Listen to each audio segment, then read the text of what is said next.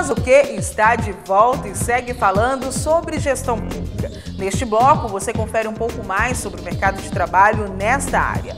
E vamos mostrar também outra oportunidade de formação na UFG para quem deseja atuar neste campo.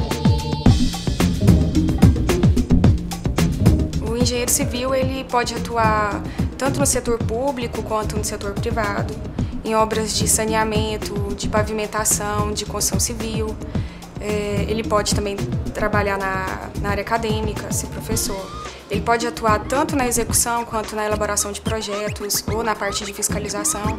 Ou seja, tem um, uma gama enorme de atividade que ele pode exercer. Aqui nos Correios eu estou há oito meses, eu ainda estou conhecendo todo o processo, mas a a parte que a gente trabalha é a parte de proporcionar a, aos funcionários um melhor ambiente físico, ou seja, a gente trabalha melhorando o local que eles, eles executam as atividades deles. Como é uma administração pública, ela é regida por muitas leis, então você tem que, tem que estudar, às vezes você tem que procurar conhecer por é, por conta própria mesmo, ou às vezes ser instruída naquilo, ou então a pessoa te passa, ou você tem que conhecer essa lei. Por exemplo, a lei de licitação, que é a 8666, é completamente diferente de uma administração privada.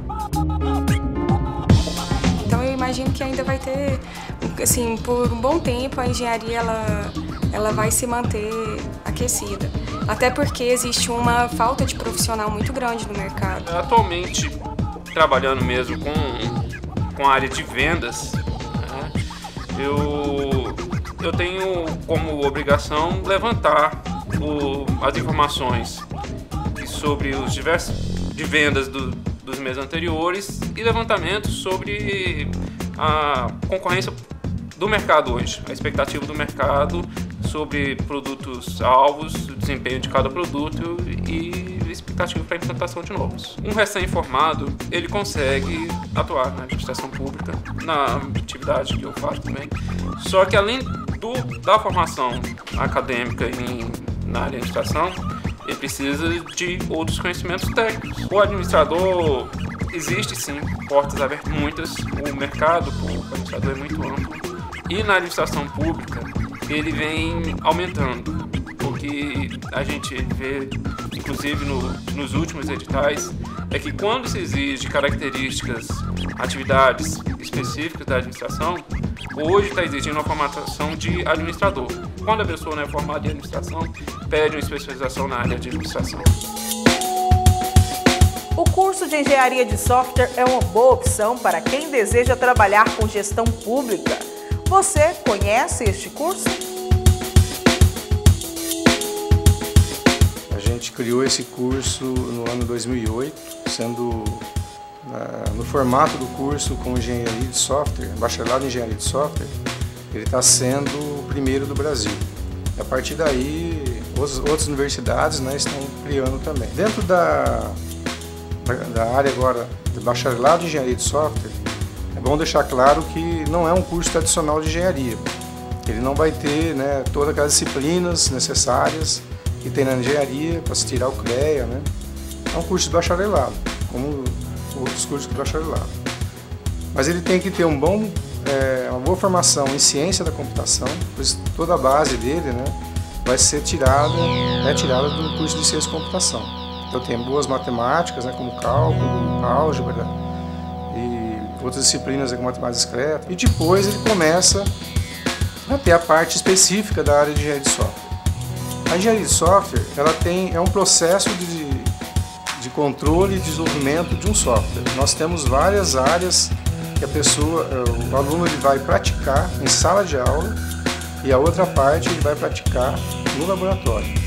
No nosso caso, a gente está construindo uma fábrica de software onde vai ser a parte do laboratório da prática da engenharia de software. Entre as áreas que existem né, dentro do, da, da engenharia de software, o que mais se destaca aí é a parte fundamental do projeto, da arquitetura, do desenho, tudo aquilo né, que o, a, a, o aluno, o profissional, ele vai aprender para levar para o mercado de trabalho. A tecnologia ela está presente hoje no mercado de várias formas. Criar um software com tecnologia, é, criando técnicas, metodologias modernas, né?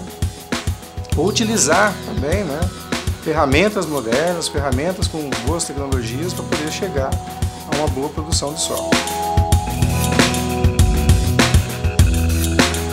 Faz o Que está à sua disposição nas redes sociais. Você pode entrar em contato conosco pelo e-mail fazoque@rtve.org.br ou também pelo Orkut, Facebook e Twitter da TV UFG. Várias pessoas têm nos procurado e contribuído para a construção deste programa.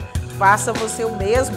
Sua opinião é muito importante. Afinal, este programa é feito para você. O Faz o Que de hoje está chegando ao fim, mas você pode rever este programa no final de semana. Tem reprise sábado às quatro e meia da tarde e domingo às três da tarde. Você pode nos assistir também na internet. Basta acessar o canal da TV UFG no YouTube, onde disponibilizamos todos os programas na íntegra. E não perca o próximo programa. Vamos continuar falando sobre as possibilidades de atuação em gestão pública. Quarta-feira, às sete da noite, aqui na TV UFG.